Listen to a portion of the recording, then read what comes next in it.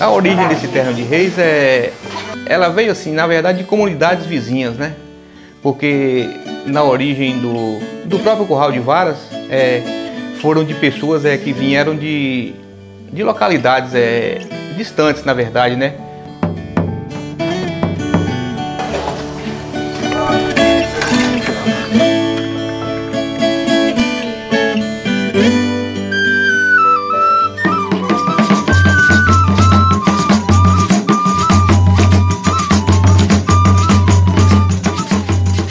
Ladainha é uma reza, né, feita para Santos Reis, que a gente faz ou no dia 6, que é o dia certo de Santos Reis, ou então a gente marca outra data, né? Porque como na região tem muitos ternos de reis, então a gente geralmente a gente faz um calendário diferente, aí coloca dias depois e, e faz essa ladainha. A gente usa é, o dinheiro arrecadado, entendeu? A gente usa o, o, o material como galinha, o frango, o, o porco, né? Que geralmente o pessoal doa. Aí a gente faz no dia uma farofa, entendeu? E faz uma festinha e reza a ladainha e faz a festa de Santo Rei.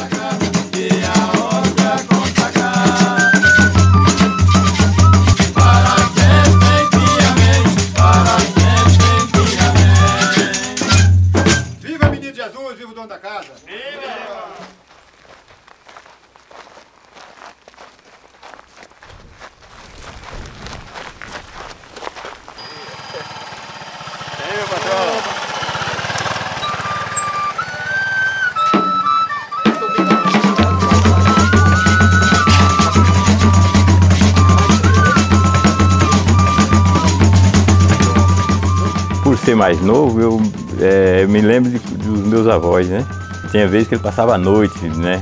A noite lua bonita, aí ele contando as histórias. E ele falava desses cantos, vinha de roda. Roda de quê? Festa. Primeiro tinha aquelas festas, as mulheres jogavam aqueles versos. E eles jogavam no rei e pegou e deu certo, né?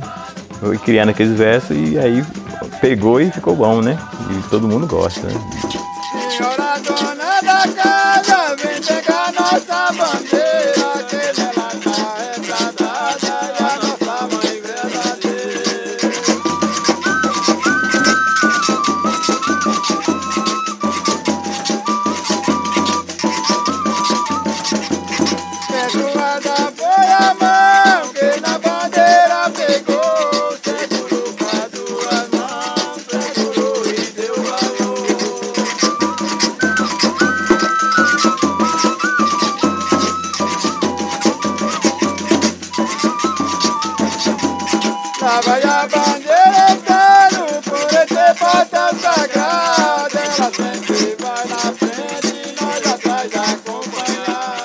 É, O nosso terno ele é, ele é um terno mais comunitário. Todos nós temos assim a mesma, a mesma importância.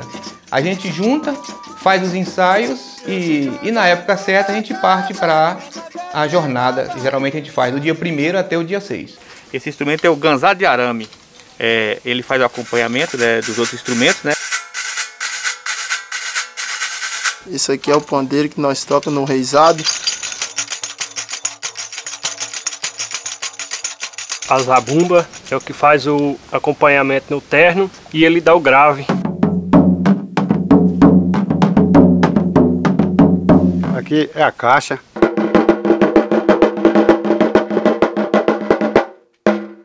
Ele é o chucai, né? Mas não é de cascavel não, é do, do reizado, né? E aqui é a segunda, né? A primeirista é, puxa e aqui é a segunda desafia. Que é uma segunda desafiadeira, né? Porque sem ela, não, na, no instrumento nenhum faz parte. Só com elas defende.